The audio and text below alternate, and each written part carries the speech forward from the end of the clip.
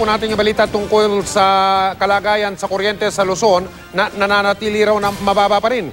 Kaya ang mga planta ng kuryente ay naka-red alert sa linggo para matiyak na walang aberya na magiging sanhi ng mga brownout sa araw ng eleksyon 2013. Nakatutok si Bernadette Reyes.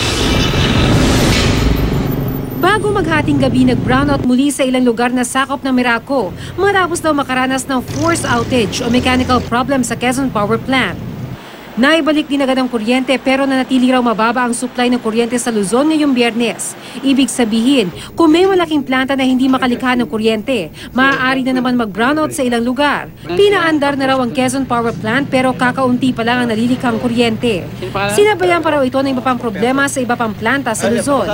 Ang Calaca Power Plant Unit 2 kung saan hinihinala nagsimula ang problema na nagresulta sa malawakang brownout hindi pa rin pinapaandar. We would like to make sure na yung um, pagbalik niya, eh, hindi siya maka-apekto ulit. Kasi yun yung possible trigger, di ba? Yung kalakato na yun and then the line. Hindi tayo pwedeng maging kampante, di ba? So, we have to be always, ano, on our toes para to ensure na wala nang malaking capacity na ano, mawawala.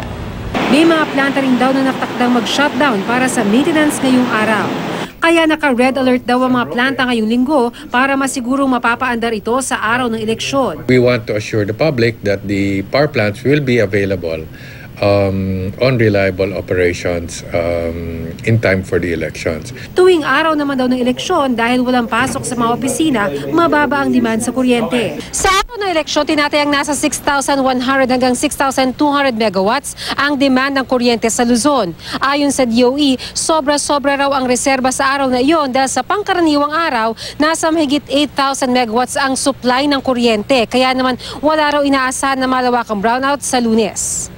Pero umaapila pa rin ang DOE at ibang ahensya na magtipid sa pagkonsumo ng kuryente. For example, if hindi mo kailangan yung ilaw, then patayin mo sila, di ba? Or kunyari kung uh, pwede namang hindi mag-aircon, pwedeng electric fan, at ano, minsan kasi meron ding iba na kahit walang tao, bukas yung mga ano, di ba?